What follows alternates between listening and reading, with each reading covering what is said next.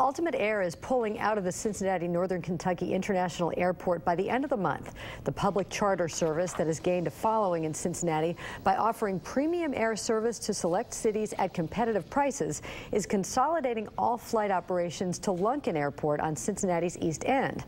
Both Ultimate Air and CVG say there are no hard feelings. The bad news for flyers, though, is that the price to fly from Lunken is more expensive.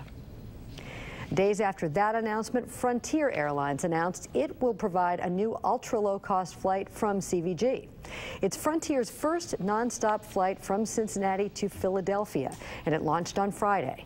Frontier began service from CVG in May of 2013 and operates 50 flights a week to 11 different destinations.